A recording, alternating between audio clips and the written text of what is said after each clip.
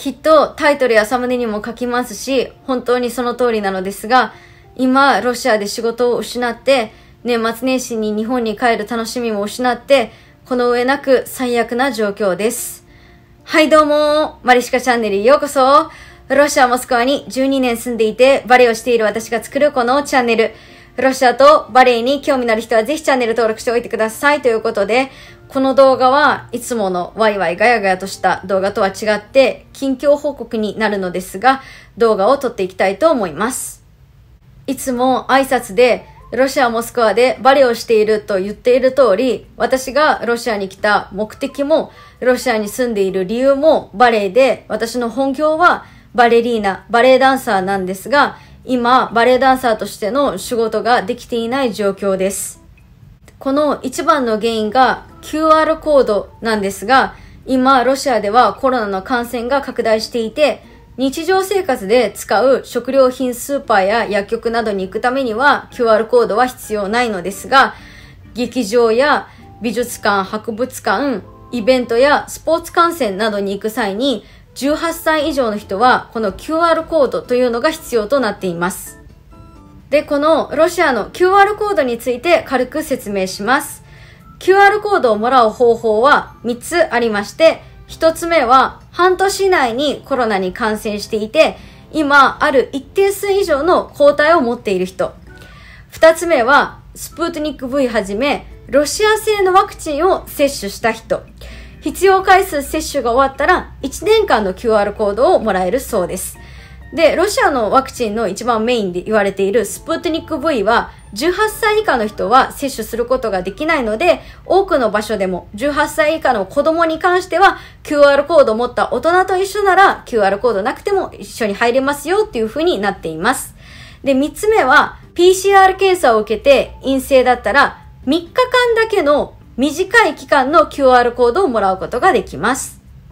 なので、劇場や美術館に行ったり、イベントに参加したい場合は、その3日以内に PCR 検査を受けて陰性なら QR コードが出るので問題はないのですが、でも働く側として、バレエダンサーとして、演目の舞台の3日前まで働けるのか働けないのか、舞台に立てるのか立てないのかわからないというのはあまりにも無責任だということで、バレエダンサーとして仕事ができず、劇場に入れず、板に立てず、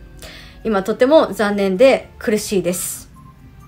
で、こういうことを言うと、じゃあ、スプートニック、ロシア製のワクチンを打てばいいじゃんという意見がたくさん来るのは分かっているのですが、でも私は日本でファイザーを打ったことに関して後悔はしてませんし、日本でファイザーを打たせてもらえたことはすごく良かったと思ってますし、感謝しています。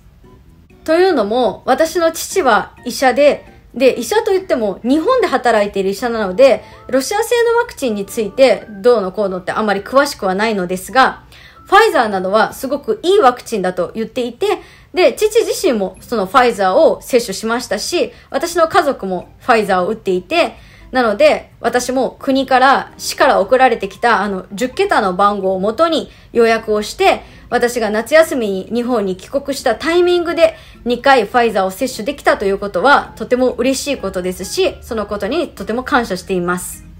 じゃあ、3回目をスプーテニック打てばっていう人もいるんですけど、あの、違うワクチンを打つっていうことはどうなのかっていうのはあまり研究はされていませんし、そして、まあ、ここ私の意見なのですが、私はワクチンは QR コードやワクチンパスポートなど書類のためのものではなく、あくまでもウイルスから体を守る健康のためのものだと思っていますので、ファイザーを2回接種して、しっかりとマスクして、予防して、で、今のところ一度もコロナにかかることなく健康で過ごせてるということはとてもありがたいことだと、いいことだと思っています。なので、3回目の接種の時期が来たとしても同じファイザーを打ちたいですし、QR コードのためだけにロシア製のワクチンを打つということはないかなと考えています。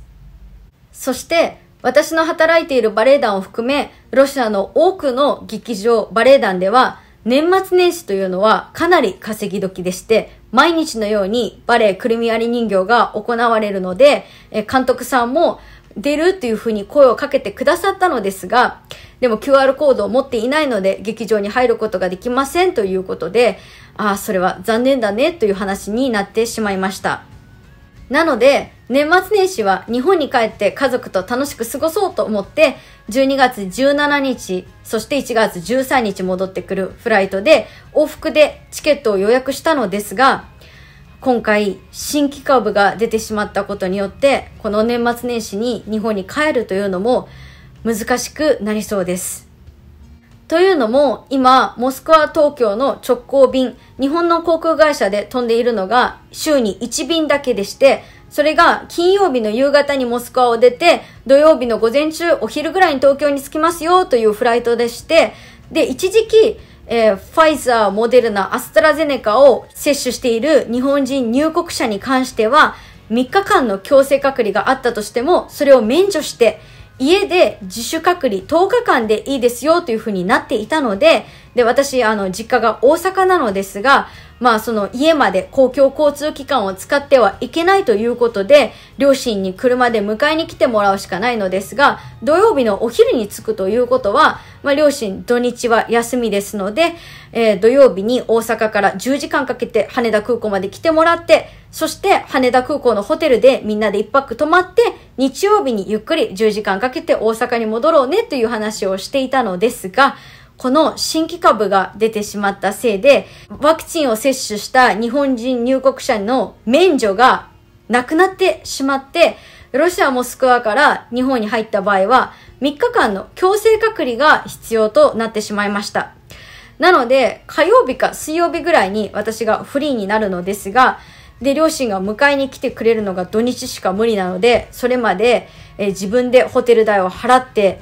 そして、で、実は、あまあ、この10時間かけてね、車で迎えに来てもらうというのもかなり大変でして、1回目私が春帰った時は父が倒れて、で、夏帰った時は母が高熱を出してしまって、で、経済的にも、そして体の負担も両親にかけてしまって帰るのはどうなのかなと思って、今、ちょっと日本帰るのを諦めようとしています。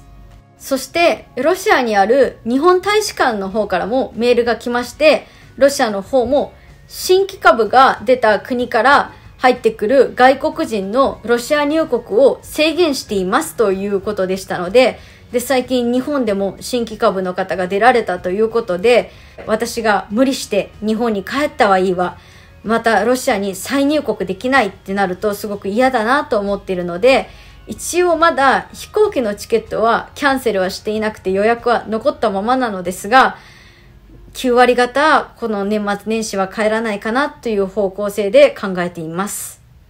日本に帰って何が一番したかったかって家族に会うことなんですね。で、特におじいちゃんおばあちゃん、他県に住んでいるので、この前私が夏帰った時は緊急事態宣言がずっと伸びてしまって、他県の移動は禁止されていたので、もう2年以上会えていなくて、で、私のおじいちゃんおばあちゃんなので、もう80代後半なので、今のうちにしっかりと会っておきたかったなっていう思いがあったのですが、ちょっとこういう新規株のこととか、今後のリスクとか、いろんなことを考えて帰るの難しいかなっていうふうに思っています。それでも、まあ、モスクワに残ってバレエができたり、仕事があるならまだ心の支えになりますし、いいのですが、でも、今劇場に入ることができなくて、で、バレエができないっていうのはすごく辛くて辛いです。で、劇場のその監督さんにも、年末年始帰るのをちょっと断念しますっていう風に話したら、じゃあ君が出れるようにどうにか話し合おうねっていう風に言ってくれてはいるのですが、でもまだはっきりとした答えをいただけていないので、今すごくしんどい状況ということがこの近況報告です。実は今自分のこのチャンネルで週に1回ライブ生配信をしているのでそこに来てくださっている方はこの内容知ってるよ知ってたよっていう方もいらっしゃったかもしれないのですが私はライブは基本アーカイブに残さないですしメンバーシップ様限定で残すようにしているのでライブに間に合わない方メンバーシップじゃない方は知らない人が多かったかなと思って今こうやって動画にして、えー、近況報告をさせていただきました。ここ最近動画の投稿頻度とかが落ちていてどうしたのと思ってた方もいらっしゃったかもしれないのですが、ちょっとこういうわけで精神的に辛くて、編集とかが間に合っていない部分がありまして、えー、動画本数がすごく少なくて申し訳ありません。でもまたね、劇場とかで何か動きがあったりとか、監督さんが話をつけてきてくれたよとか、コロナが終わったもう収束した新規株もなくなったってなったら、嬉しいニュース、近況報告もできる日が来るのかなっていうふうに思いますので、えー、今後ともよろしくお願いいたします。そして最後に一つだけお願いがあるのですが、近々モスクワに来る予定があるよという方がいらっしゃいましたら、一つだけ荷物を運ぶのを手伝ってほしいんです。というのも今 EMS とかの国際郵便は動いていないですし、私も日本に行く予定が潰れかけていますので、えー、薬だったりマスクだったりロシアで売っていなくて必要なものをもうできるだけ小さく軽くまとめて母が送りますのでそれを持ってきていただけるお手伝いができる方いらっしゃいましたらこちら私のインスタグラムになりますのでインスタグラムのダイレクトメッセージ個人チャットの方に一言いただけたら本当に助かります。手伝ってください。助けてください。よろしくお願いいたします。はい、ということで、今回のこの近況報告動画終わります。最後までご視聴してくださった皆様、本当にありがとうございました。ではまた次の動画でお会いしましょう。次の動画はいつも通りのワイワイガヤガヤが戻っております。というのもね、撮影はね、かなり前にしておりますので、もうあの、日本に帰る予定、まんまでもな、ハッピーの浮かれた私があの、撮っている動画をちょっと今から編集しますので、はい、ご安心ください。バイバーイパカパカチャンネル登録よろしくね。